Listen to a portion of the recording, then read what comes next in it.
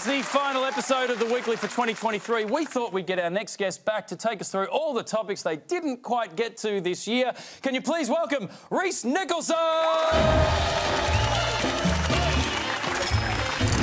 Hello, Charlene. Yes, here to turn the blowtorch on a topic in a humorous fashion. But before I do, let me say I've had such a great time being on the show this season. I actually finally watched an episode. Oh, wow. Um, so, what did you think? It's so funny, Charles. I love hearing the news skewered in such a smart way. And Waleed is so great at balancing out some of Steve's views. How long has Carrie not been on it? Rhys, I, I think you were watching the. Um, the Charles, I'm here to talk about scientists. Humanity's busybody buzzkills. I tell you what, I miss the good old days when science was all about reporting positive stuff. You know, when smoking was good for you, the earth was flat, and climate change was just a setting on your diesel powered air conditioner.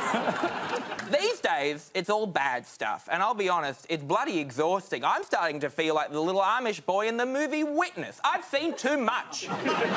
Sorry, was that a reference to a Harrison Ford Science movie? is a lot like you, Charles. I trust it, but it doesn't mean I have to like it.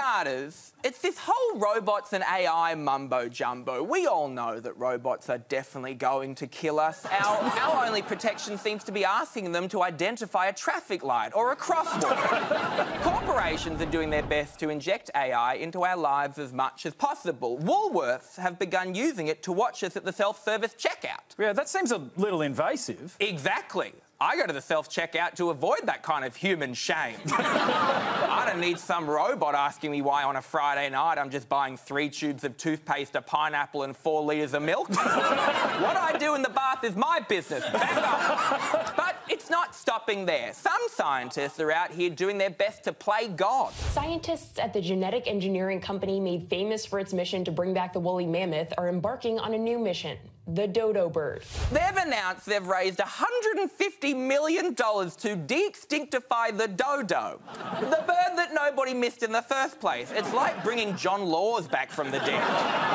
Um, John Laws is alive. Is he? Charles, this is the kind of bonkers, wacky, tobacco bullshit science is working on when there are so many real issues that need attention. In fact, I asked AI chatbot, ChatGPT, for a list of things we need to fix now, and it came back with this horror-filled shit show of a list.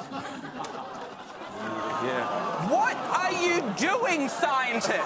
While you're busy reanimating bullshit birds and taking photos of me while I'm buying pineapples and milk for totally innocent reasons. what do we need more? Killer robots are a solution to climate change so we don't all melt. Shall we find a cure for cancer or bring back the fing dodo bird?